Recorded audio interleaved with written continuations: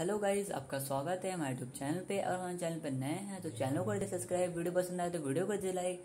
तो गाइज़ हम सीखने वाले हैं how to remove pattern lock आप पैटर्न लॉक को कैसे रिमूव कर सकते हैं?